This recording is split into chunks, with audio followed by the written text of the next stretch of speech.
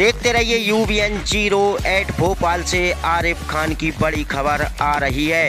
NRC bill के खिलाफ आष्टा में मुस्लिम समाज रोड पर उतरा।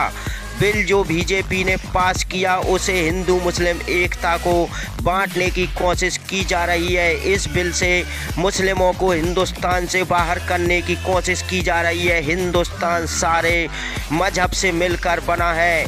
इसमें सिर्फ़ हिंदुओं को ही क्यों महत्व दिया जा रहा है? मुस्लिम इस देश के नहीं हैं। आज पूरे देश में विरोध प्रदर्शन किया जा रहा है। आस्था के मुस्लिम समाज ने इस बिल के खिलाफ अपना गुस्सा ज़ाहिर किया। रैली निकाल कर देखते रहिए U B N zero eight ताज़ा खबरों के लिए हमारे साथ बने रहिए।